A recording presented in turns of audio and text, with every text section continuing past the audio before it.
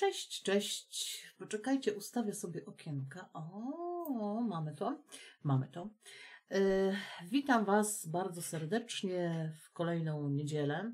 Niedziela godzina 10. Będę starała się w tym czasie nagrywać filmy, które będą dotyczyły magii, tarota albo innych takich rzeczy, którymi będę chciała się podzielić i będę się bujać na krzesełku. Widzę, super są krzesełka bujane, będzie ruch. Ale yy, dzisiejszy film, słuchajcie, na co uważać w ezoteryce.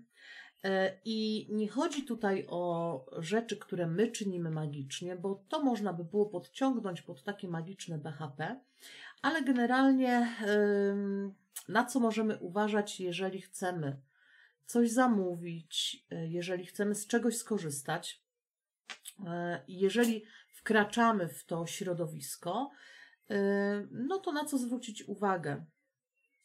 Bo jak każde środowisko, czy mówimy o lekarzach, prawnikach, inżynierach, cyklistach, hodowcach kotów, y, miłośników biedronek, w każdym środowisku, jak wszędzie, zdarzają się y, bardzo poprawne i fajne energie, bardzo poprawni i fajni ludzie, ale zdarzają się również y, no, gnioty, grzmoty i inne niemoty. I jest kilka takich rzeczy, na które trzeba zwrócić uwagę, właśnie wkraczając w to środowisko, czy jako klient, czy jako e, ezoteryk, osoba zainteresowana, osoba, która e, ma ochotę rozejrzeć się po terenie, że tak powiem. Ja tutaj sobie e, wypisałam osiem rzeczy, o których Wam chcę powiedzieć i po prostu będę je rozwijać. Nie wiem, czy od rzeczy najbardziej drastycznych do najmniej ale e, na pewno takich, na które trzeba zwrócić uwagę. Pierwszy punkt e, napisałam sobie mm, straszenie. Słuchajcie, w mojej praktyce już długoletniej e, bardzo często spotykam się z osobami, z klientami, którzy przychodzą do mnie bardzo wystraszeni, że jakaś wróżka, ezoteryk, szeptucha, szeptucha, nie wiem, osoba oświecona, robiąca cokolwiek ezoterycznego, w momencie, kiedy zaczynają nie zgadzać się z jej drogą, podejściem, interpretacją znajomości, przyjaźni, chcą zwrócić przedmiot, zaczynają być straszeni wszelkiego rodzaju klątwami, albo, co się bardzo często zdarza, ja twoje zdjęcie zakopię na cmentarzu. A propos zakopywania zdjęć, również nagram Wam film, y, jak można sobie z tym poradzić, bo są sposoby na odklątwienie, ale pamiętajcie, że nie każde zakopanie zdjęcia na cmentarzu wiąże się z rzucaniem złej energii, a wręcz przeciwnie, y, jeżeli y, nie są zachowane wszelkiego rodzaju bardzo duże środki ostrożności, to wręcz obraca się przeciwko osobie kopiącej, że tak powiem.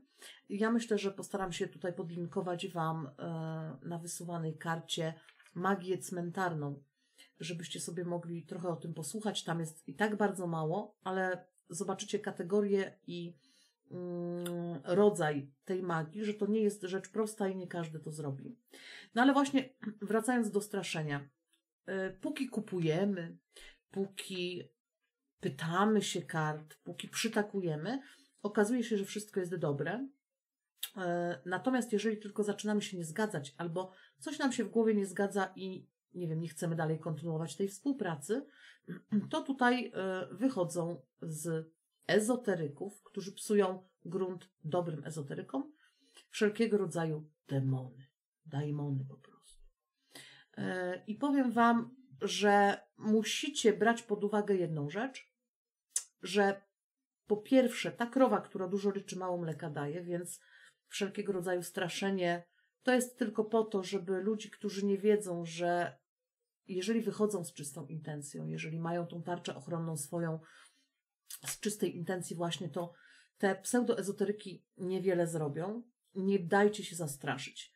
To jest właśnie takie przesłanie, które chciałam tutaj um, przepraszam, bardzo mocno przekazać. Będę kichać jeszcze. Prawda? Nie dajcie się zastraszyć, dlatego że tutaj nie jest to postępowanie ezoteryczne, a walka o klienta. E, jakiego ezoteryka w takim razie wybrać? Takiego, który wie, że nie będzie rezonował z każdą osobą, po pierwsze, więc nie każdy będzie jego klientem. Po drugie, że jeżeli nawet na pewnym etapie e, drogi jest super i pięknie działa współpraca, nie musi działać na następnym i ta dana osoba może zwrócić się ku innej osobie też w ramach magicznej pomocy, ale nie będzie obciążana klątwą i obciążana jakimiś dramami. Po prostu był pewien etap, zwalnia się miejsce na kolejne osoby. Taki przepływ. Nic nie jest lepiej, nic nie jest bardziej. Może jest po prostu inaczej, może trochę inna ścieżka. To tak jakby ode mnie, która posługuje się żywiołami, ktoś jednak zwrócił się w stronę energii anielskich i ezoteryków, którzy robią, nie wiem, anielskie rytuały. To nie jest nic złego, to jest po prostu trochę inna ścieżka. Ja klątwami, cmentarzami i różnymi innymi dziwactwami straszyć nie będę. Nie dajcie się zastraszyć, bo ciężko was potem przekonać, że to w ogóle nie ma racji bytu.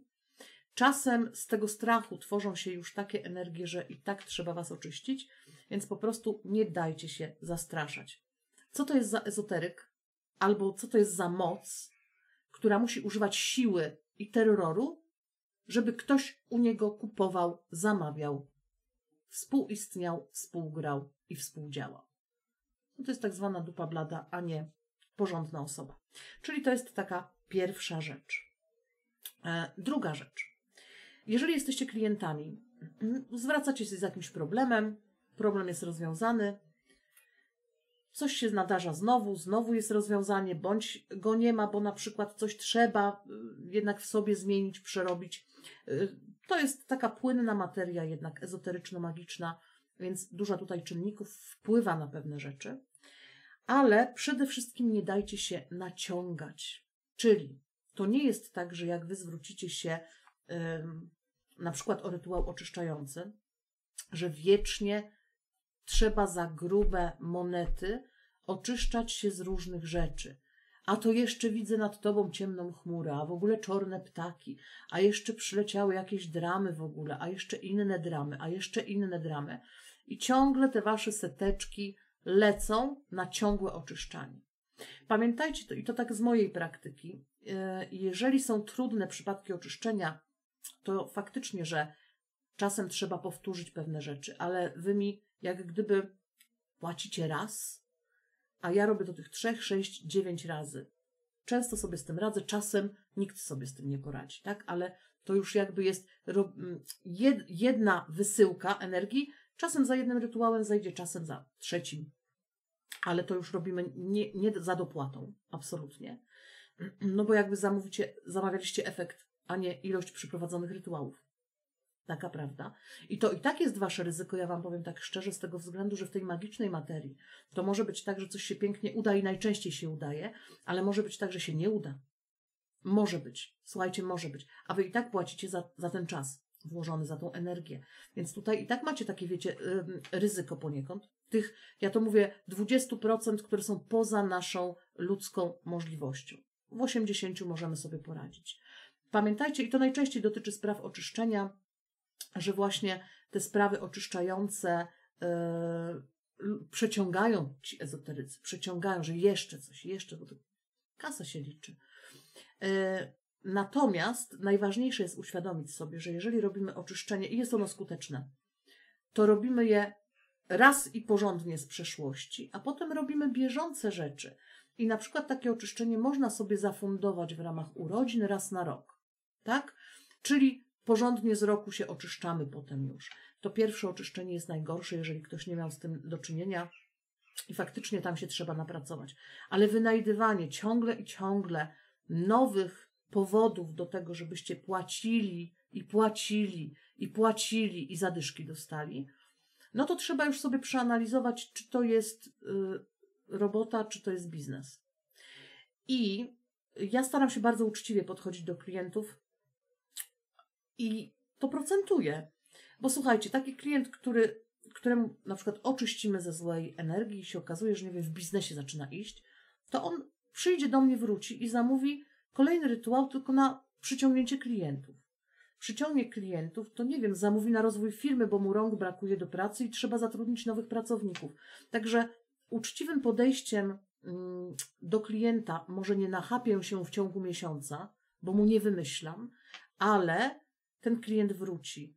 No i dobre zdanie pozostanie, co też narabia dla mnie dobrą energię, dla mnie jako dla osoby, której też idzie wtedy, bo jakby nie na cudzym nieszczęściu, czy dramatach, czy oszustwach e, człowiek się dorabia, chociaż ezoteryka i tak jest uważana w dużej mierze za oszustwo i dlatego trzeba tu być bardzo ostrożnym. To jest mm, bardzo lekka i miętka materia, że tak powiem, bo jedni krzyczą oszustwo, drudzy korzystają to tak nie da się tego udowodnić. To nie jest, nie wiem, wezmę zeszyt i wiem, że mam, tak? Produkt.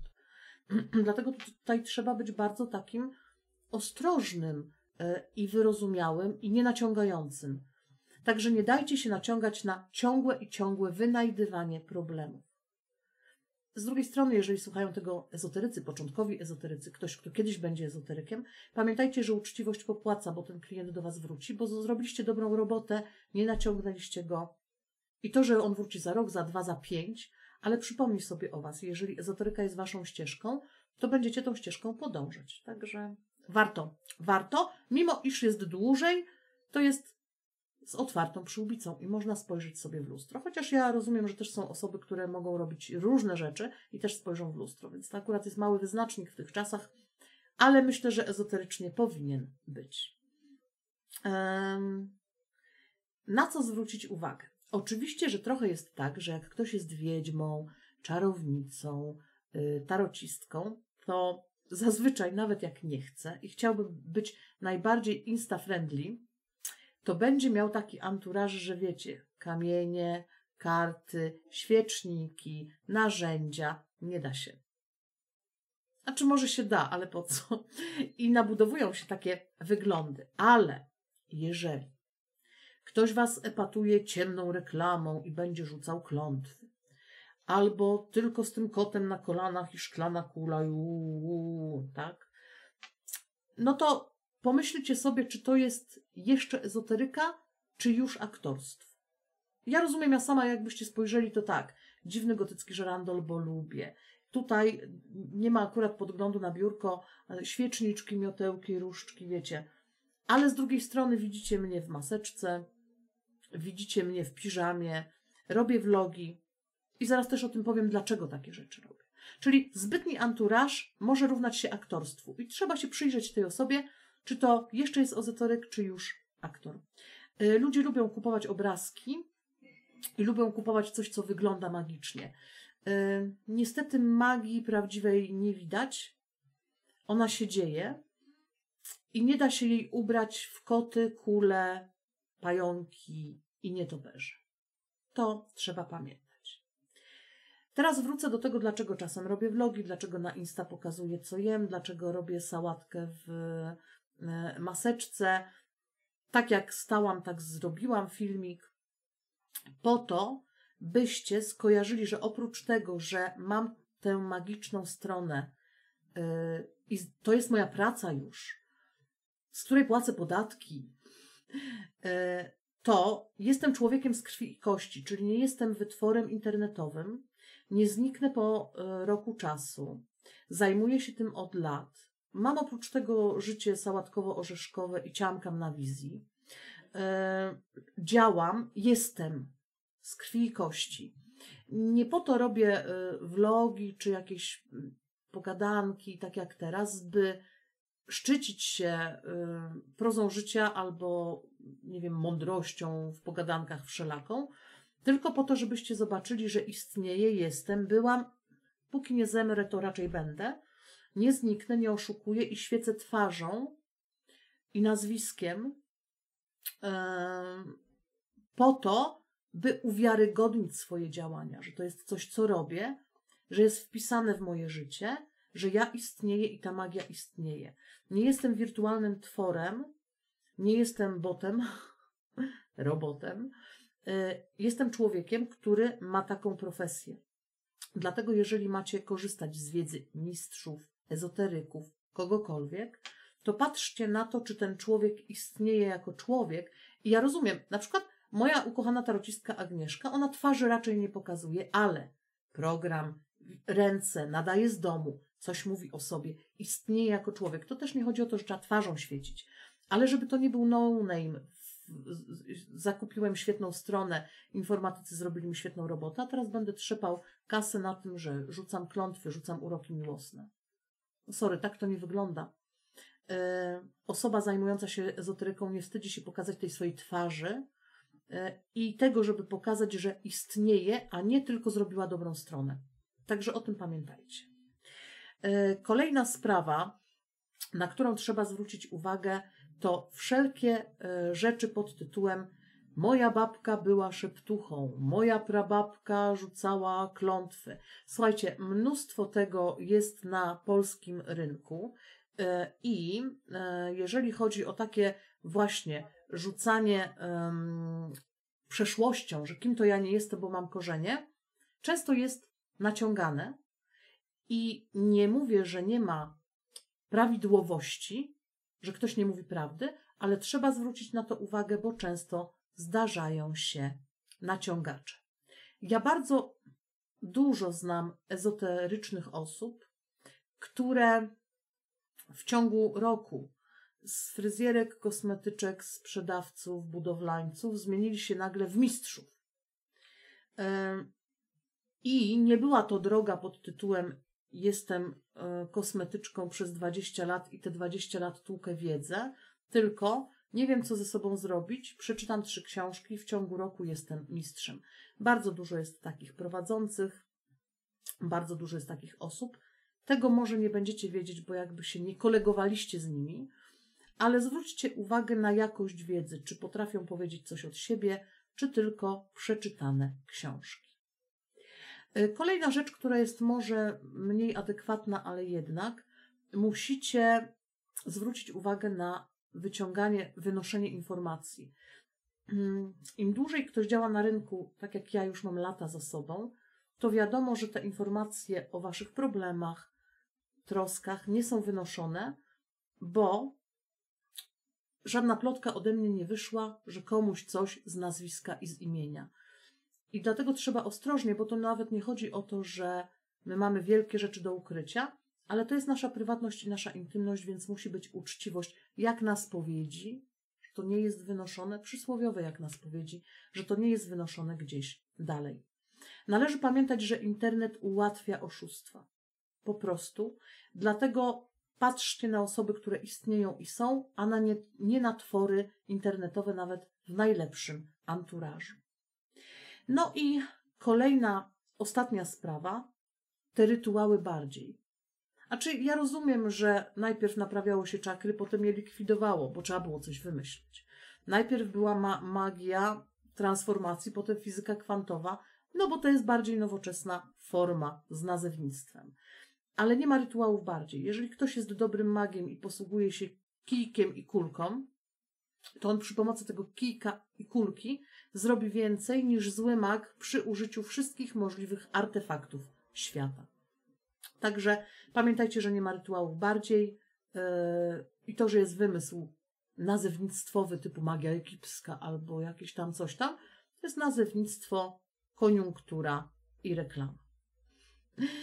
Tyle o rzeczach, na które trzeba uważać w ezoteryce. Mam nadzieję, że program Wam się podobał. Buziakuję Was, pozdrawiam i na kolejną niedzielę zapraszam. Pa, pa.